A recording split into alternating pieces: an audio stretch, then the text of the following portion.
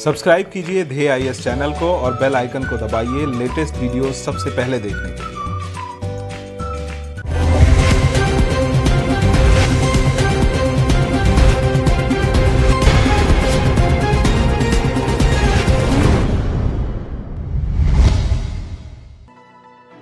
Corona virus से जूझ रहे ब्रिटेन में एक और रहस्यमय बीमारी ने अपनी दस्तक दी है। ये बीमारी बच्चों को अपना शिकार बना रही है। लगभग 100 से अधिक बच्चे इस बीमारी का शिकार हुए हैं। ये माना जा रहा है कि आने वाले दिनों में इस बीमारी से संक्रमित रोगियों की संख्या बढ़ सकती है। डॉक्टरों ने इस बीमारी को कावासाकी नाम दिया है।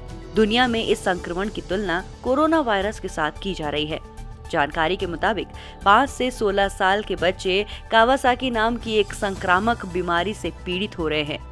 अब तक ब्रिटेन में 100 से ज़्यादा बच्चों को कावासाकी बीमारी हुई है। ऐसे कयास लगाए जा रहे हैं कि इस तरह का संक्रमण शायद कोविड 19 से प्रभावित बच्चों में हो रहा है। आज के डीएनएस में जानेंगे इस रहस्य में बीमारी कावासाकी के बारे में और साथ ही समझेंगे कि दुनिया भर के डॉक्टर कोरोना वैश्विक महामारी के दौरान कैसे इस बीमारी से निपटने की जद्दोजहद कर रहे हैं। कावासाकी बीमारी एक ऐसी बीमारी है जो रक्त वाहिकाओं पर असर डालती है। कावासाकी रोग, त्वचा और नाक, गले और मुँह के अंदर भीतर म्यूकस मेम्ब्रेन्स पर प्रभाव डालती है। कावासाकी रोग को mucocutaneous lymph node syndrome भी कहा जाता है। कावासाकी रोग होने पर बच्चों की पूरी बॉडी में रक्त वाहिकाओं में सूजन आ जाती है। इससे हृदय की धमनियाँ क्षतिग्रस्त हो सकती हैं। ये रक्त वाहिकाएँ खून को दिल तक लेकर जाती हैं। जापान, कोरिया और ताइवान को मिलाकर पश्चिम एशिया में कावासाकी रोग 10 से 20 गुना ज़्यादा है। इससे पीड़ित अधिकतर बच्चे पाँच वर्ष से कम उम्र के होते हैं और औसत आयु वाले करीब दो साल के होते हैं।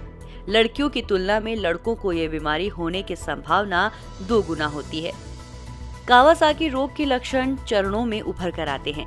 कावासाकी रोग के पहले चरण में आमतौर पर 102.2 फेरानाइट से अधिक बुखार रहना, हाथों, पैरों की सूजन, होठों और गले में जलन और सूजन और चिड़चिड़ापन जैसे लक्षण दिखाई देते हैं। इस बीमारी के दूसरे चरण में हाथ और पैर की त्वचा का पीला पड़ना, जोड़ों में दर्द, डायरिया, उल्टी पेट दर्द जैसे लक्षण दिखाई देते हैं। कावासाकी रोग को कई लक्षणों के दिखाई देने की वजह से कावासाकी सिंड्रोम के नाम से भी जाना जाता है। साल उन्नीस सौ सड़सठ में जापान के एक बच्चों के डॉक्टर टोमिसाकू कावासाकी ने पहली बार इस रोग की पहचान की थी। इन्हीं के नाम पर इस बीमारी को कावासाकी रोग के नाम से जाना गया। साल 1976 में पहली बार इस रोग के मामले जापान से बाहर अमेरिका के हवाई राज्य में दिखाई दिए। डॉक्टरों और शोधकर्ताओं के पास अभी तक इस बीमारी की असली वजह को लेकर कोई पुख्ता जानकारी नहीं है। ये बीमारी एक इंसान से दूसरे इंसान में नहीं फैलती है। अक्सर कावासाकी रोग सर्दियों के अंत और पतझड़ की शुरुआत में होने की गुंजाइश रहती है। कई शोधों में इस बीमारी की वजह बैक्टीरिया, वायरस या पर्यावरणीय कारकों को बताया गया है। लेकिन अभी तक इनमें से किसी भी कारक की पुष्टि नहीं की गई है। कभी कभी इस बीमारी की वजह माता पिता से बच्चों में आए जीन को भी बताया है। यूँ तो इस बीमारी की शुरुआत में ही इसके लक्षणों के सामने आने पर इसको ठीक किया जा सकता है। लेकिन कुछ खास मामलों में जहाँ इसका इलाज करना थोड़ा मुश्किल होता है, वहाँ सर्जरी की भी ज़रूरत पैदा हो सकती है।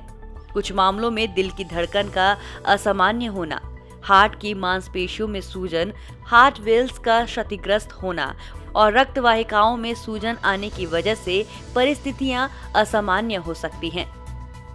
नवजात शिशुओं में गंभीर खतरों की सबसे ज़्यादा संभावना रहती है। एक नज़र डालते हैं कोविड 19 और कावासाकी पर। कोरोना संक्रमित बच्चों में प्रतिरोधक क्षमता के कम होने की वजह से कावासाकी की तीव्रता ज़्यादा पाई गई। इसके अलावा, कोरोना संक्रमित बच्चों में इस रोग के होने की संभावना भी ज़्यादा पाई गई। हालाँकि, कोरोना महामारी के बाद में कावासाकी से ग्रस्त बच्चों में रोगों से लड़ने की क्षमता की सक्रियता काफ़ी बढ़ गई थी। हालाँकि, भारत में कावासाकी रोग के मामले काफ़ी कम पाए गए हैं, लेकिन पिछले दो दशकों में इसके मामले तेज़ी से बढ़े हैं। इन आंकड़ों के मद्देनजर महामारी के दौरान बच्चों की सेहत पर खास ध्यान देने की ज़रूरत है। भारत और दुनिया के तमाम देशों को इस बात पर गौर करने की ज़रूरत है कि कोरोना महामारी में ऐसी बीमारियों को नजरअंदाज न किया जाए और इसकी दवा और इलाज पर शोध को वरीयता दी जाए ताकि दुनिया में बच्चों के भविष्य पर प्रश्न चिन्ह न लगे।